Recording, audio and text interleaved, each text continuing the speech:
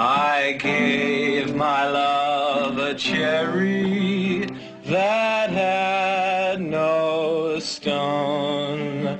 I gave my love a chicken that had no bones. I gave my love a story that I give.